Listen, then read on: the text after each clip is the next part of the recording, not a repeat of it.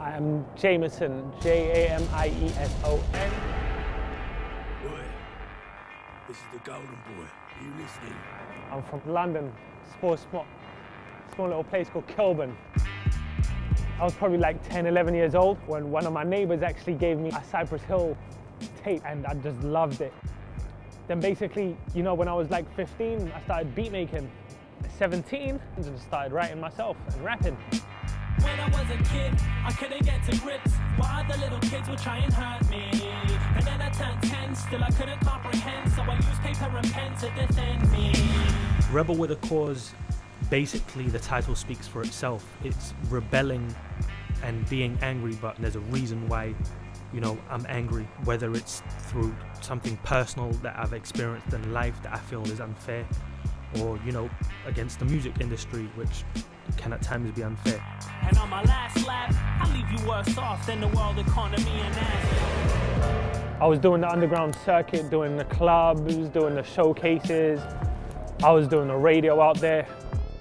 I tried to put out a compilation in the UK, but I kept on getting let down by rappers not coming to the studio. I was wasting time and money, so I tried releasing an, um, a CD out there, which I was on the street selling in the cold, struggling. I did everything. Push, pray, push until push something push happens.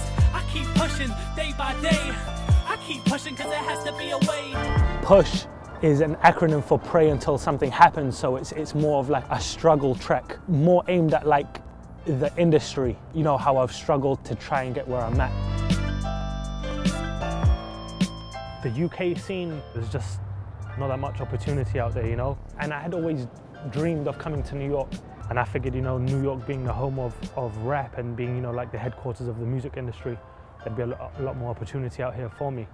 So I basically, you know, packed my bags, said my goodbyes and flew out on the first plane out.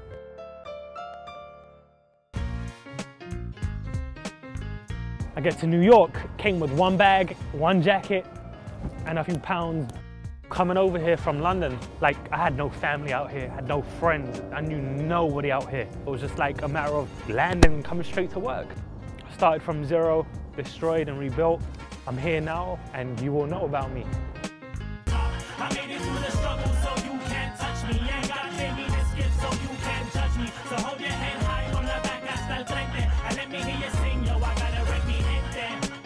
Mi Gente is basically an empowering, uplifting song. Basically, both my parents are immigrants.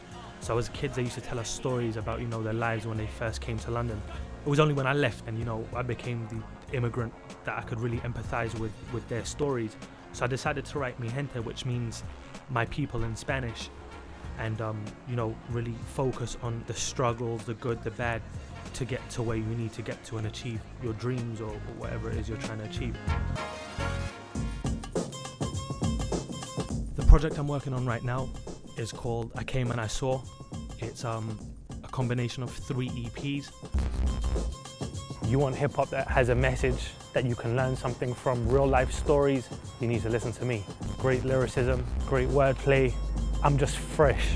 My name is Jamieson, 2010. Stay posted.